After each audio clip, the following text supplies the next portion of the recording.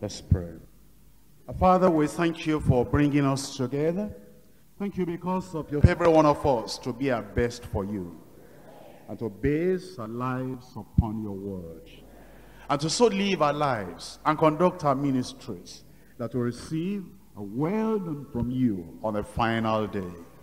Be with us all through this period of leadership training. Thank you, Lord, for the answer. In Jesus' name we pray. You're going to read after me. Say everything after me. Commitment. I am part of the fellowship of the unashamed. I have the Holy Spirit power. The die has been cast. I've stepped over the line. My decision has been made. I'm a disciple of his. I won't look back. I won't let up. I won't slow down. I won't back away. I won't be still. My past is redeemed. My present makes sense. My future is secure. I am finished and done with low living. I'm finished and done with sight walking. With small planning. With smooth knees. With colorless dreams. With tamed visions. With mundane talking. With cheap living. With dwarfed goals. I no longer need preeminence, prosperity, or position. I no longer need promotions, plaudits, or popularity. I don't have time to be right, to be first, to be top, to be recognized, to be praised, to be regarded, or to be rewarded.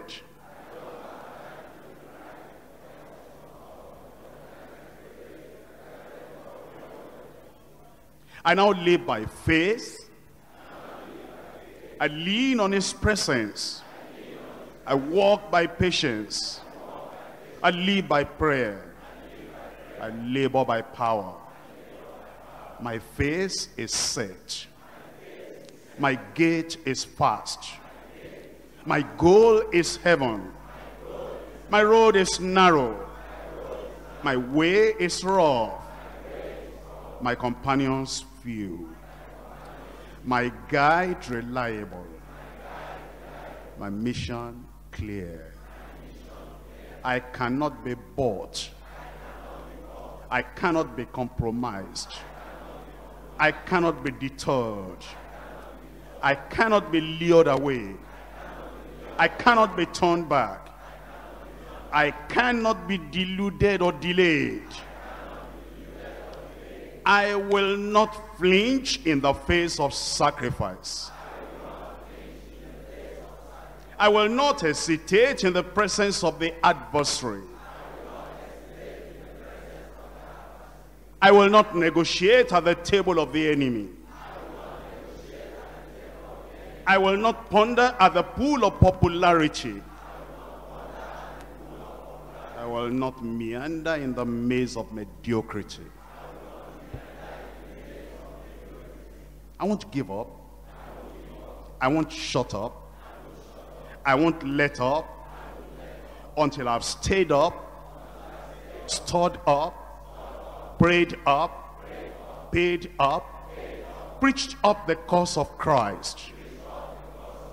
I'm a disciple of Jesus. I must go on until he comes. I must give until I drop. I must preach all I know. I must walk until he stops me. And when he comes for his own, when he comes for his own, he will have no problem recognizing me. My banner will be clear. Amen. May God confirm your commitment today. We can sit down now. I welcome you once again to this year's Leadership Congress.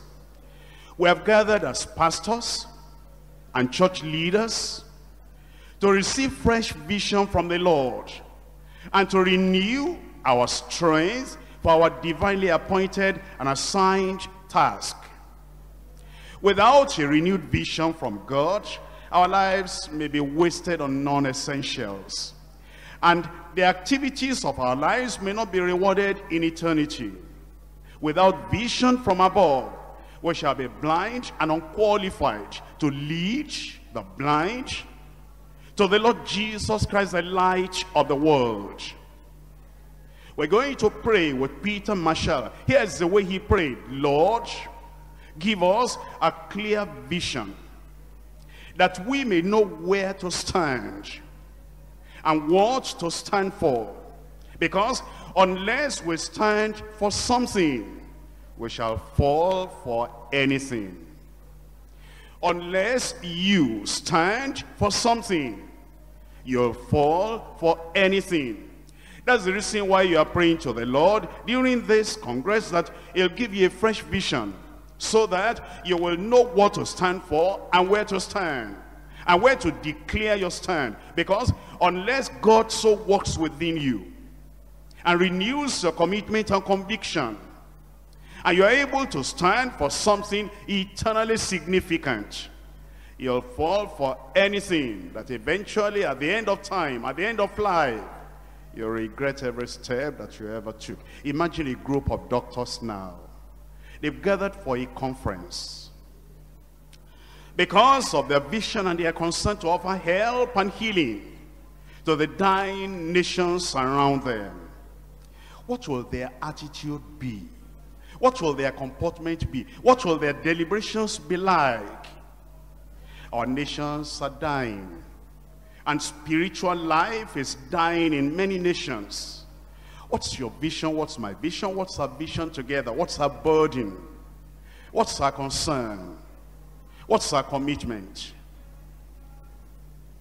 Each leader's vision and burden will determine his comportment during this Congress and will determine your effective in ministry after the Congress. That's the reason we're starting with the Word of God, the preeminent Word in the church. The Word of the Lord is preeminent. And in your life, as well as ministry, that Word must be conspicuously present.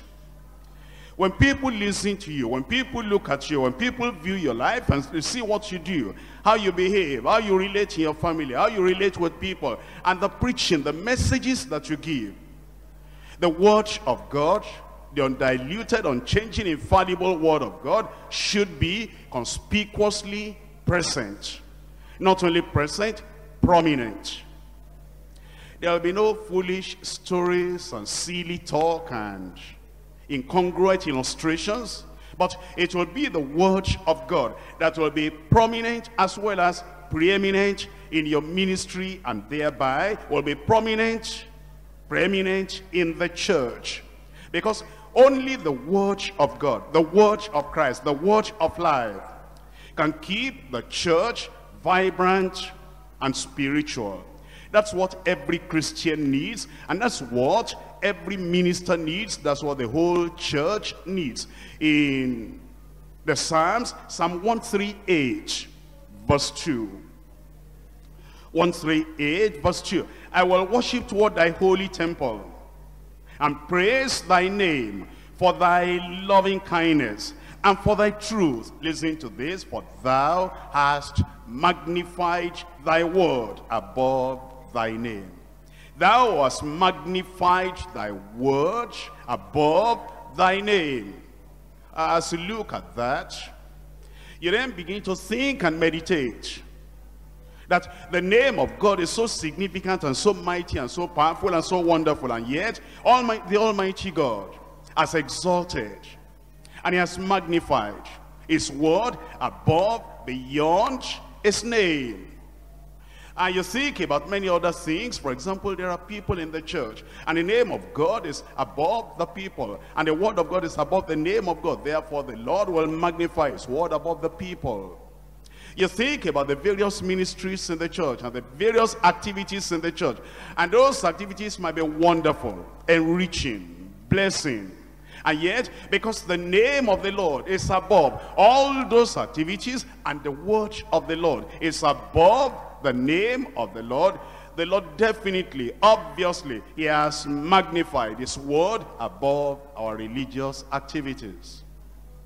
As you think about the things that are important to church leaders, the policies and the administrative kind of edicts that are written down, those things are very important to help the church.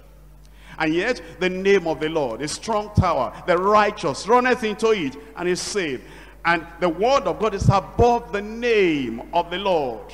It's magnified, exalted above the name of the Lord. Obviously then the word of the Lord must be magnified, exalted above all the administrative statements and the policies of the church. If there is anything that is very significant as we leaders come together, it is to understand that the word of God should be preeminent in the church of the living God. Thou hast magnified, exalted thy word above thy name. And as you come in here, Eh, you want to magnify the word of the Lord above everything else. Obviously, as we're here, we need fellowship together. But the word of God is above that fellowship. As we're here, obviously, we'll need time to rest our body and to sleep. But the word of the Lord is magnified above resting the body and sleep. Obviously, as we're here together, we cannot do without some water and some food. But the word of the Lord is magnified above all those physical needs of the body, above the food. Obviously, as we're here, we'll need to uh, do things this way, and you need your own time to do this and to do that. But the word of the Lord should be magnified above those things you want and desire in your life. If we can just bring the word of God to the very center of our lives and ministry, of everything that we do that will really please the Lord. In Matthew chapter 28 verse 18. Matthew 28 verse 18, and Jesus came and spake unto them, saying, All power is given unto me in heaven and in earth. Go ye therefore and teach all nations, baptizing them in the name of the Father and of the Son and of the Holy Ghost, teaching them to observe all things whatsoever I have commanded you. And lo, I am with you always, even unto the end of the world. Uh, there are some people that will give us an idea that now this is the modern world. The times have changed. And you see a lot of things in modernism and modernity. And because of that, they feel that we should take some liberty and modify the word of the Lord. But here Jesus Christ said, until the end of the age, until the end of time, until the end of the world, until he comes again, will keep on teaching to observe, teaching the people of God to observe, that is to obey, to believe, to accept, to embrace the totality of the word of God, all things whatsoever I have commanded you. Uh, Paul the apostle ministered to the church at Ephesus and he had to call the leaders together in Acts chapter 20 verse 17 Acts chapter 20 verse 17 and this was chapter 20 verse 17. It says, and from Miletus, he sent to Ephesus and he called the elders of the church, just like we're doing now. And as he called those elders of the church, he reminded them when he came together in verse 20, how I kept nothing that was profitable unto you, didn't keep anything back from you, but showed you and taught you publicly and from house to house. That is, when he taught publicly, it was the word of God. When he taught privately, it was the word of God. When he stood on the pulpit, it was the word of God. And it was, it was sitting on the chair, chair just sharing one-on-one -on -one with another leader, another elder in the church, it was the word of God. Magnifying the word of God above every other thing, testifying to the Jews and also to the Greeks, repentance toward God and faith toward our Lord Jesus Christ. Then in verse 25, now, behold, I know that ye all among whom I have been preaching, have gone preaching the kingdom of God, shall see my face no more. He was rounding up his ministry with them. Wherefore, I take you to record this day that I'm pure from the blood of all men. You ministers want to preach the word of God. And you want to stand on the word of God. You want the word of God, the totality of the word, the entirety of the word, to be so present, prominent, preeminent in your ministry, that you would have taught the people the whole counsel of God. And then you'll be able to say, I am pure from the blood of all men. Then he tells us in verse 27, For I have not shunned to declare unto you the whole counsel, all the counsel of God.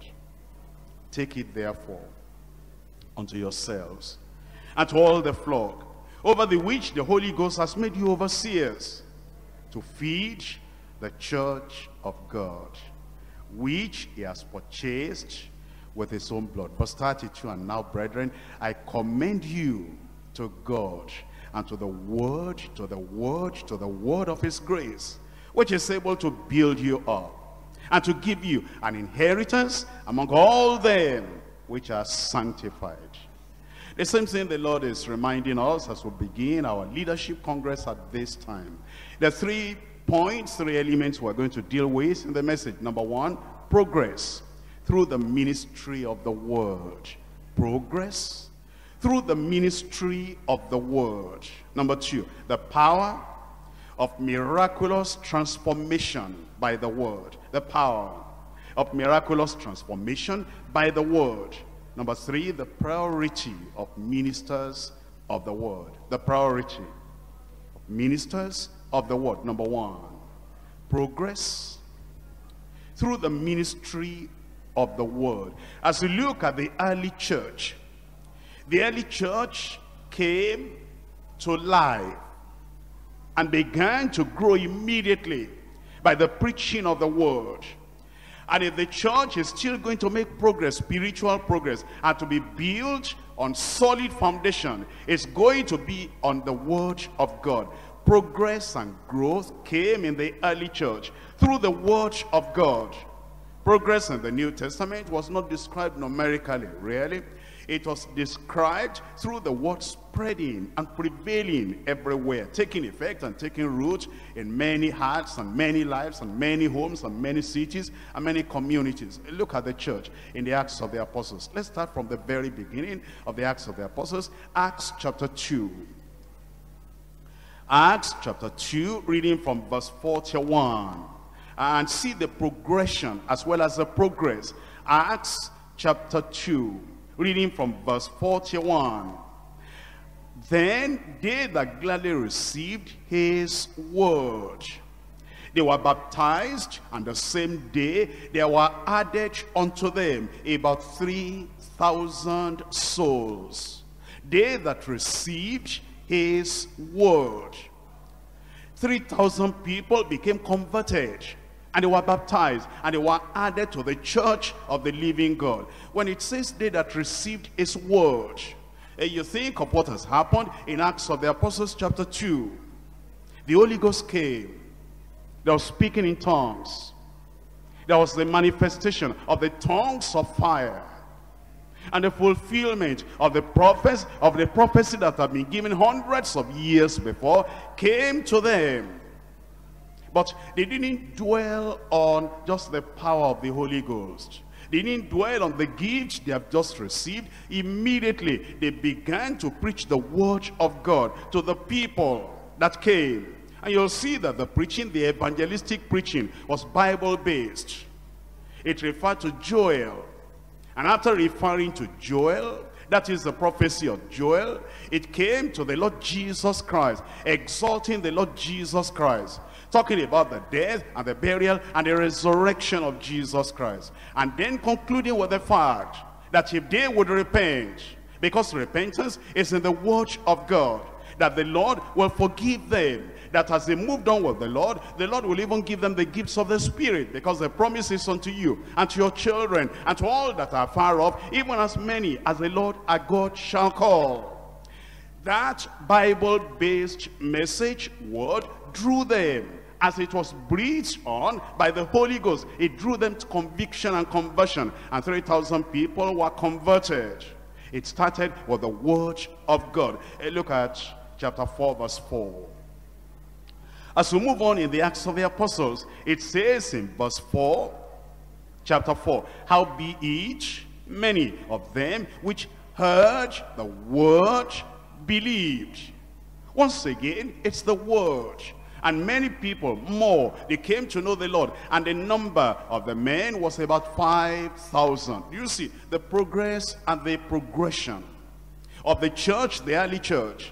And every time that progress was tied to the word of God. And move on to chapter 6. As we come to chapter 6 and you're reading from verse 1. It says in those days when the number of the disciples was multiplied there arose a murmuring of the Grecians against the Hebrews because their widows were neglected in the daily ministration. As the church was growing, and they needed to put some administration in place because there was now murmuring and grumbling.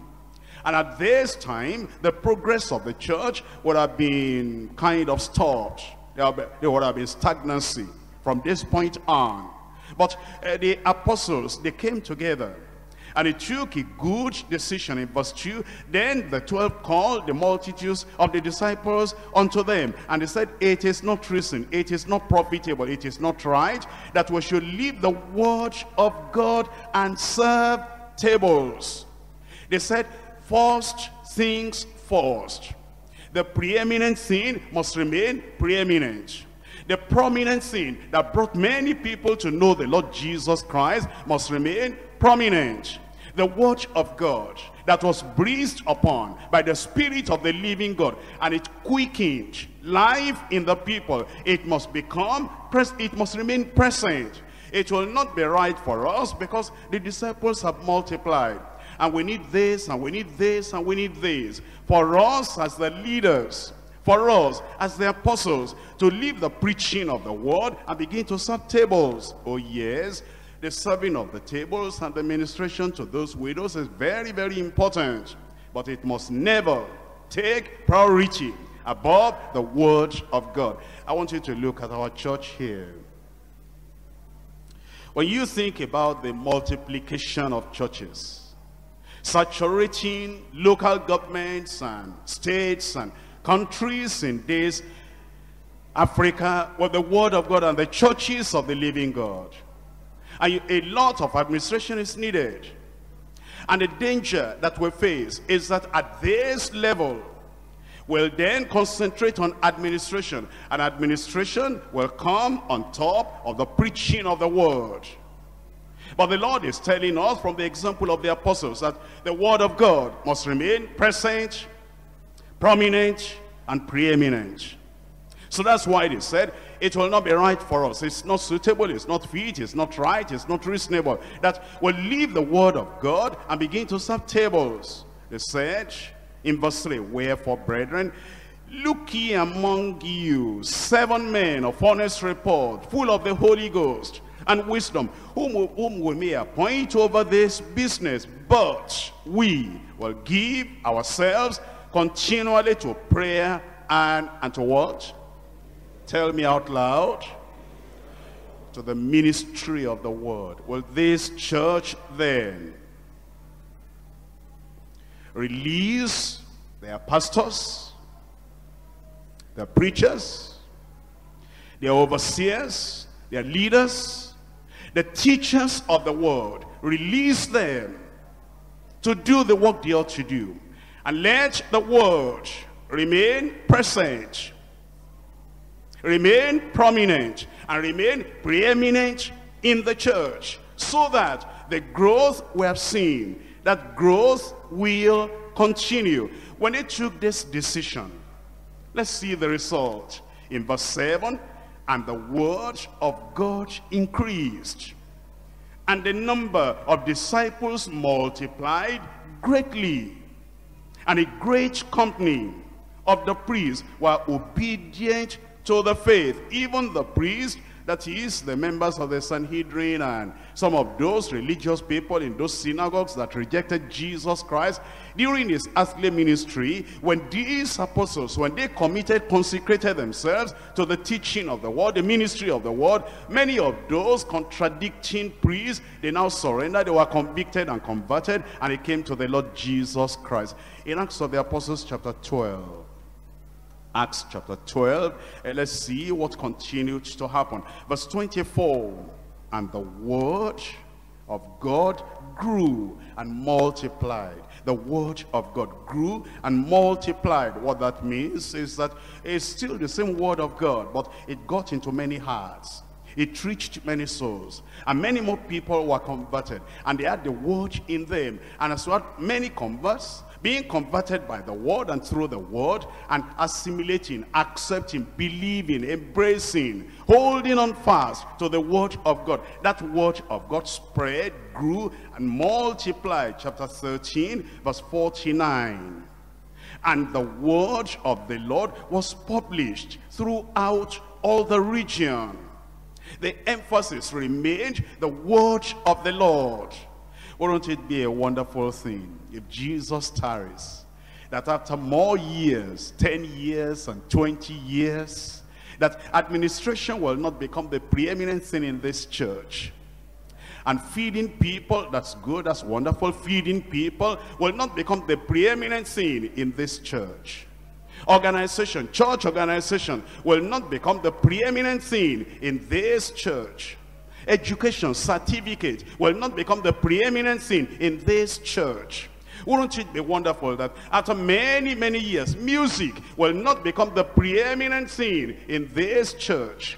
Wouldn't it be a wonderful thing that name, title, popularity, politics will not become the preeminent thing in this church? Wouldn't it be wonderful that if Jesus tarries, 20 years from now, 30 years from now, after some of us that are on stage now, after we're given the baton to the generation to come, that it will still be the word of God that will be prominent and preeminent in the church. That after many years, the progression and the progress of the church in the New Testament was determined by this that the word of God continued to prevail and continued to grow. Then we read in chapter 20, chapter 19 rather, chapter 19 verse 20.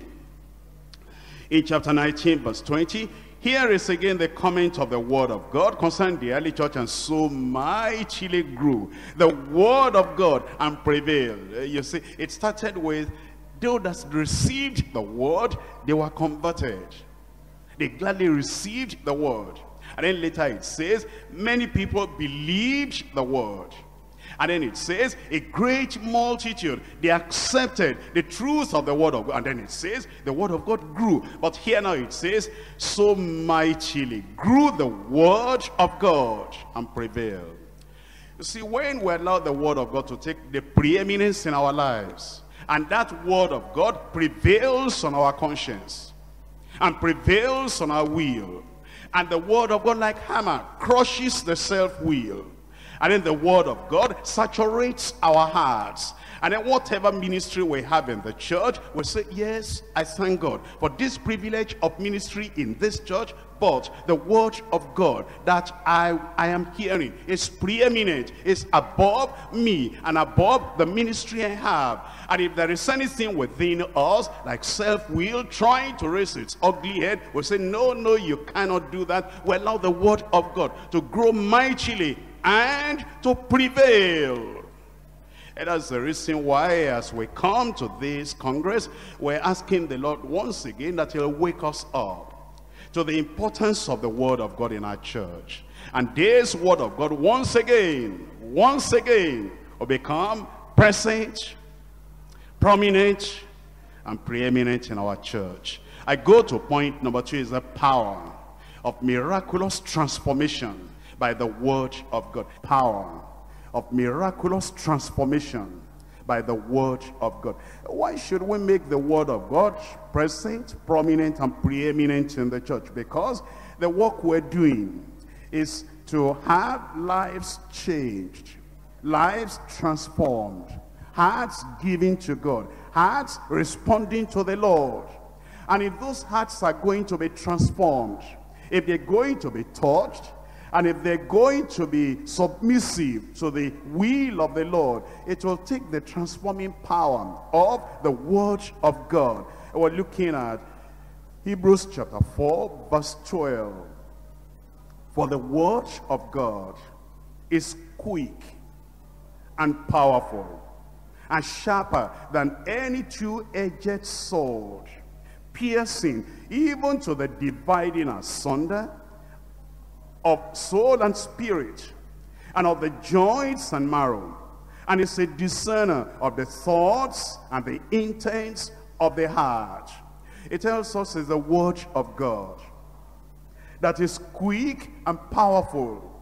And sometimes some of us who have had the privilege of studying a little and we've gone beyond primary school and we have some paper that some of these uh, teachers in the world give us that they call certificate.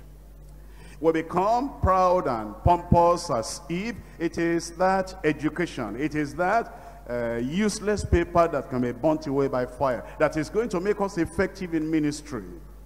And then instead of sticking to the word of God and remaining with the word of God, we don't understand. We think it's the psychology and the philosophy and the administration and the knowledge and ability to speak that we have acquired from all these schools that will make the people yield to our persuasive speaking. But it says no. If we're going to see miraculous transformations in the church, if we're going to see miraculous conversions in the church, if we're going to see people calling once again to the people of God, men and brethren, what shall we do? If the word of God we preach is going to pierce the heart of the people and going to drive them to their knees in submission to the Lord, saying, what shall we do? We want to be saved. We know we are guilty of our sins. We want to give our lives to the Lord. It's going to be on the basis of preaching the word and nothing but the word. The power of miraculous transformation by the word. Uh, some of our people, when they have chance to talk to me, they tell me that uh, one, one of our problems in these few years is because the church is trying to exalt certificate above Christian experience. And I had to sit back and listen and say, looks like age, Looks like grammar and education and certificate is going beyond the value of the effect of the word of God in the lives of our people. That we respect and we honor and we reward the people that happen to have certificate, paper, above the people that have the genuine experience and the commitment and the consecration and the devotion. I'm trying to listen. And I'm seeing that we need to come back to the word and look at a person and not put him on an ivory tower because of the mundane things, because of the paper. This is church. That once again, the word of God the way individuals accept the word, they believe the word, we see they're living by the word, and they're devoted to the Lord, and their whole life, spirit, soul, and body is committed to the word of God. I think we ought to honor that above honoring the things of the world. And don't let us don't let us just say, yes, we have heard. All of us who are leaders, let's make a U-turn and say yes from now on. We're going to evaluate people on the basis of how they're responding to the word of God. So that once again, it will be the power of the word that is working in our midst, in our lives, in our families. It says, this word of God is quick and powerful, sharper than any two-edged sword. When it comes, it pierces us, and it divides the soul and the spirit, And then it discovers, it reveals the intent, the intention, the planning, the motives of the very heart and the spirit. That's why we're told in Romans chapter 1. Romans chapter 1, verse 16. It says, For I am not ashamed of the gospel of Christ. That's the word of God, the gospel of Christ, the word of life. For it is the power of God unto salvation to everyone that believes, to the Jew first, and also to the Greek. When this word of God came to the Thessalonians, see how it transformed them. See how it changed them. In First Thessalonians chapter 1, First Thessalonians chapter 1, I'm reading from verse 5. First Thessalonians 1, verse 5.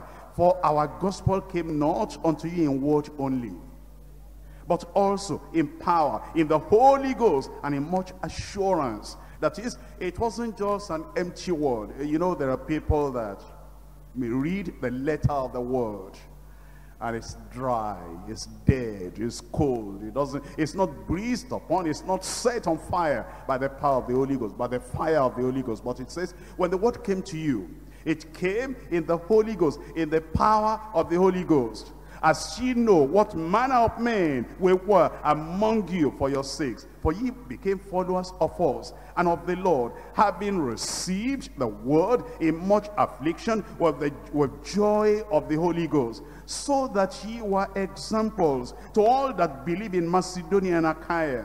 For from you sounded out the word of the Lord, not only in not, not only in Achaia, and in Macedonia, but also in every place your faith to God word is spread abroad, so that we need not speak anything, for they themselves show of us what manner of entering in we had unto you, and how ye turned to God from idols to serve the living and the true God. You see, it brought transformation into their lives. There was a mighty change and it was because of the word of God. Look at the evidence in chapter 2 verse 13. But this cause also thank we God without season. Because when ye received the word of God, which ye heard of us, ye received it not as the word of men, but as it is in truth the word of God, which effectually worketh also in you that believe. That is, that word worked effectually in you. Well, you see that the word then is what brings people into the kingdom of God, transforms them, changes them, and then they become the people of God. In First Peter chapter 1, First Peter chapter 1, verse 23, being born again, not of corruptible seed, but of incorruptible, by the word of God of the incorruptible word of God, which liveth and abideth forever. If we're going to see more conversions in our ministry, preach the word.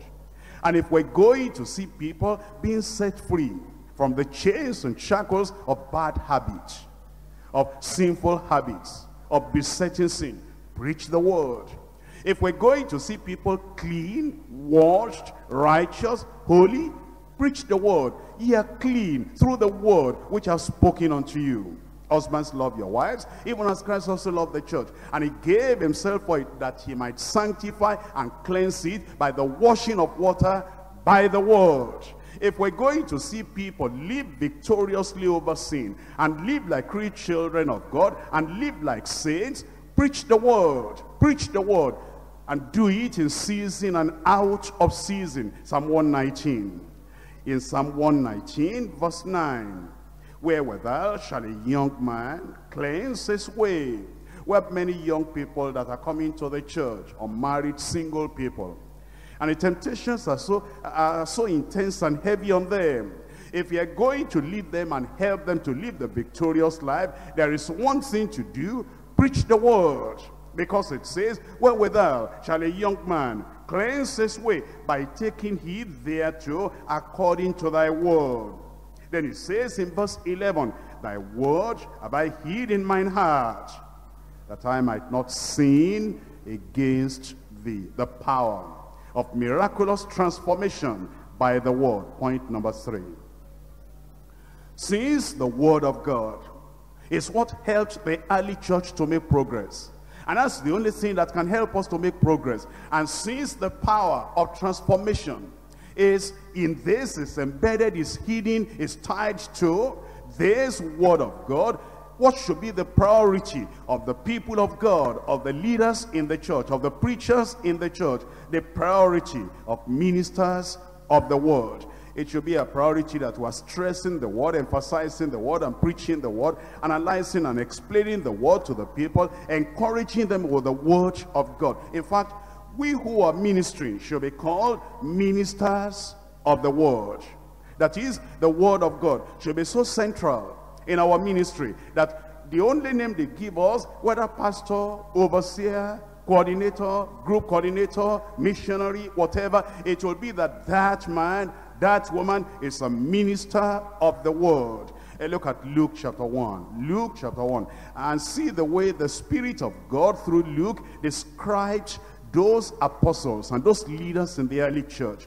In Luke chapter 1 verse 1. For as much as many have taken in hand to set forth in order a declaration of those things which are most surely believed among us, even as they delivered them unto us which from the beginning were eyewitnesses. These are the apostles. They were eyewitnesses of the ministry of Jesus Christ and ministers of the word.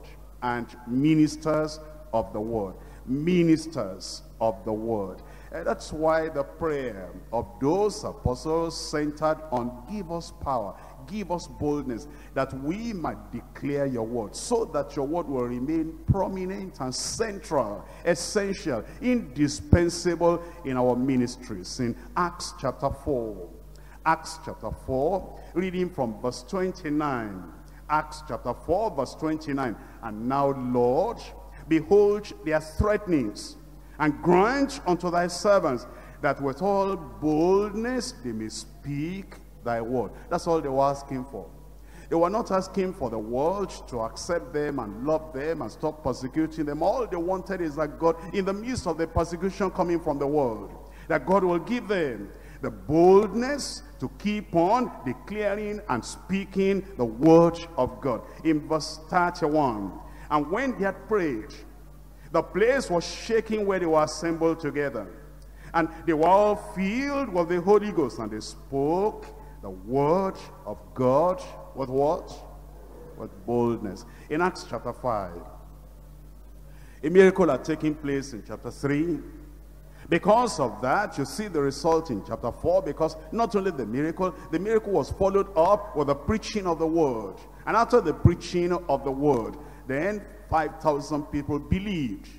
The leaders of the nominal church, the leaders of the of the Jewish church, the Jewish people, synagogues, they were not happy. They arrested these people of God. They put them in the prison. See the priority of the ministers of the word. In verse 17 of chapter 5, Acts, Then the high priest rose up, and all they that were with him, which is the sect of the Sadducees, and they were filled with indignation, wrath, and anger and laid hands, laid their hands on the apostles, and they put them in the common prison. But the angel of the Lord by night opened the prison doors and brought them forth and said, Go, stand, and speak in the temple to the people all the words of this life. They had been imprisoned. What do you think? If somebody had been imprisoned for preaching, and he wanted to really deal with them, the angel came to deliver them. What do you think will be the natural thing to do? To go and hide away so that their lives will be secured and saved. But the priority of the preaching of the word is manifested here. Because the angels told them, you cannot stop. They mustn't shut up your mouth. They mustn't intimidate you because of the imprisonment, because of their religious power, or political power, or governmental power because of their cruelty, because of what they're trying to do, you go back and see those people that are gathered there because they need to know the Lord. And the only thing that will make them to know the Lord is the preaching of the word of life. So go, stand, and speak in the temple to the people. All, don't minimize it, all Don't diminish it all. Don't subtract from it all. Don't say because of, you know, if we touch that area, there are some people that don't accept that doctrine. If we touch that area, there are people that will not take that. Especially at that time, if they touched about the death of Jesus, the burial and the resurrection, those Jewish people will be fidgeting. They'll be feeling guilty. You're trying to bring the blood of this man on us. So they would have avoided that area because it will bring confusion. It will bring conflict. It will bring more persecution. But don't stop. Don't say, we know what the people don't like. We know what they don't want to hear. So we'll not talk about that. Don't do that. Go and speak to the people all the words of this life. May God give us grace to do it. And we will do it. In Acts of the Apostles chapter 8 verse 4. Acts chapter 8 verse 4. The priority of the ministers of the word it tells us in chapter 8 verse 4, and they, therefore they that were scattered abroad went everywhere doing what? Preaching the word, preaching the word.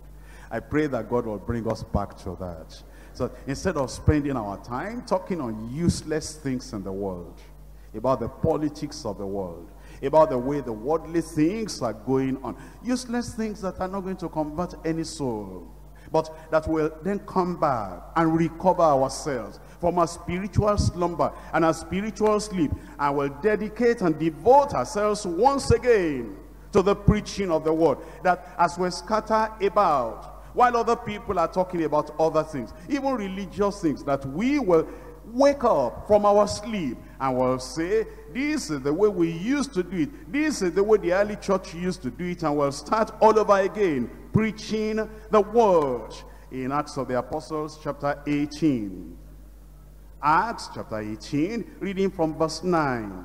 In Acts chapter 18, verse 9, it says, Then spake the Lord to Paul in the night by a vision, Be not afraid, but speak, and hold not thy peace. The Lord is telling us that the only reason while he's protecting the ministers of God is so that they can have liberty to preach the word.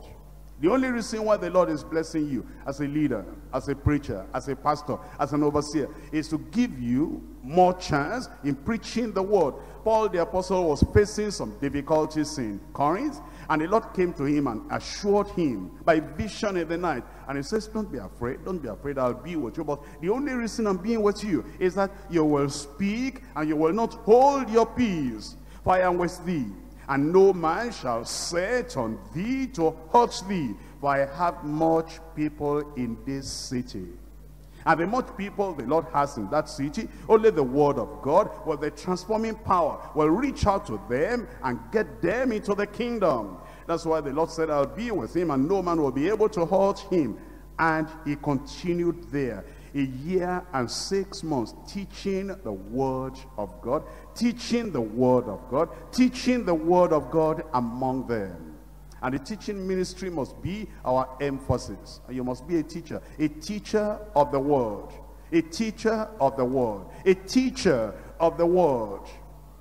When we call you overseer, that's wonderful. We call you pastor, that, that's great. We call you father and the Lord, mother and the Lord, that's great. But the central thing you are to do, whatever the title, is to teach the word and be a teacher. And be a teacher. Because even Jesus Christ, uh, we're told that he went about and he stirred the people by teaching them the word. Teaching them the word. Teaching them the word. And you don't want to come to any level, you don't want to come to any situation in your Christian life, in your Christian ministry, where you think of the teacher as a derogatory term. And you're thinking it is, be, it is beneath your ministry, your dignity, to be a teacher. Be a teacher of the word teaching the word. Look at that verse again. It's verse 11, chapter 18 of Acts. And he continued there. A year and six months, teaching, teaching, teaching the word of God among them. In Second Thessalonians chapter 3, 2 Thessalonians chapter 3, looking at verse 1, finally, brethren, pray for us, that the word of the Lord may have free course and be glorified even as it is with you. Pray for us. Pray for us. And pray for yourself that the word of God will take precedence in your life and it will have free course. In 2 Timothy chapter 4, 2 Timothy chapter 4, reading from verse 1. 2 Timothy chapter 4 verse 1, I charge thee therefore.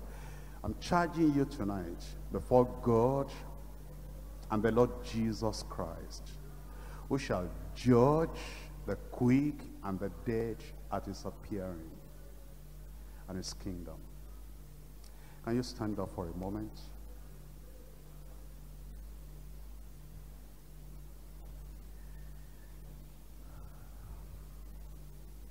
As we're standing up, I want you to just visualize that here you are now in the presence of the great judge. Throw your mind forward to the day of judgment and see the court of heaven and the angels of God in attendance and see you there at the box standing standing before the judge of all the earth and then he looks at your life he looks at your ministry and he looks at where you put the word in life and your ministry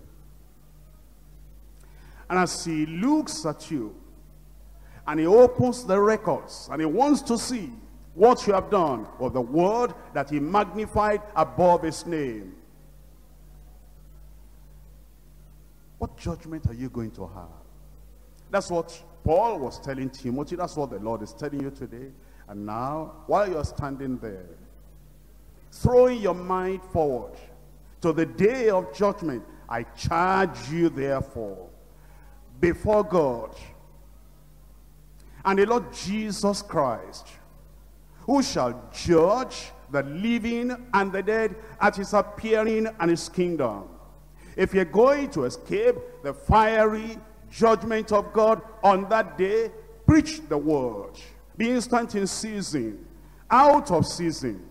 Reprove, rebuke, exhort with all long suffering and doctrine. For the time will come when they will not endure sound doctrine, you'll discover it in your ministry. When the people will want to magnify another thing, want to magnify worship, music, religious activity, organization, church administration, orderliness, food feeding, women program, children entertainment, they want to magnify many, many, many things above the word. The challenge will come to you. The challenge will come, the time will come. When some people in your congregation, I mean known people, popular people, respected people, exalted people, when they will say that that's too much, preaching, preaching, preaching, Bible, Bible, too much, they'll demonstrate it, they'll talk it. But when that time comes, for the time will come, when they will not endure sound doctrine, but after their own laws shall heap to themselves teachers having itching ears, and they shall turn away their ears from the truth and shall be turned unto fables. What are you to do? Watch thou in all things, endure afflictions. Don't back down. Don't be conquered in your will. Endure affliction. Do the work of an evangelist. Make full proof of your ministry. Will you do it? Will you do it? I'm a part of the fellowship of the unashamed. And I have the spirit, the spirit's power. The die is cast. I've stepped over the line. The decision has been made. I'm a disciple of Jesus Christ. I won't look back. I won't let up. I won't slow down. I won't back away. I want to be still. My past is redeemed. My present makes sense. My future is secured.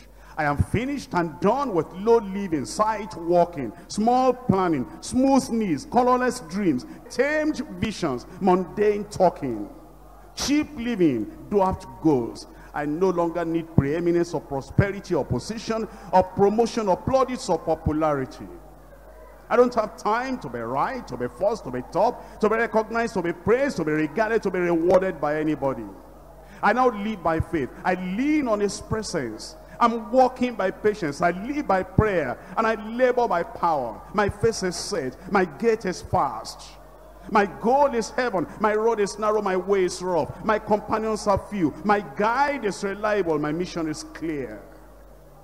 I cannot be bought. I will not be compromised. I cannot be deterred. I will not be lured away. I cannot be turned back. I cannot be deluded. I cannot be delayed. I will not flinch in the face of sacrifice. I will not hesitate in the presence of the adversary. I will not negotiate at the table of the enemy. I will not ponder at the pool of popularity. I will not meander in the maze of mediocrity. I won't give up. I won't shut up. I won't let up until I have stayed up and stood up and prayed up and paid up and preached the, up the cause of Christ. I'm a disciple of Jesus Christ. I must go until he comes. I must give until I draw. I must preach all I know. I must walk until he stops me. And when he comes for his own, he will have no problem recognizing me because my banner will be clear. Open your mouth and talk to the Lord and say, Lord, I'll be there when you come. I'll be there when you come. I'll be there when you come. I'll be there when you come. I'll be faithful.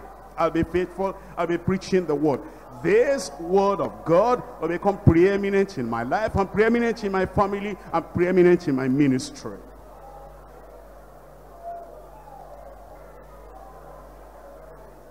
Make up your mind. Make up your mind. That this word of God will be all in all in your life, all in all in your ministry. The transforming power of the word of God will walk in your life, will walk in your ministry. Don't let people shut you up. Don't let people bind you up. Don't let people just kill you and kill the power of the word from your mouth. Stand on the word. Preach the word. Preach the word. Be instant in season and out of season. There may be few people that will reject it there may be people, a few people that will kick it away from them. Don't look at them. Keep on preaching the word. Preach it. Preach it. And leave it out. Let it be at the very center of your ministry. Let's bring it back to the center of our church.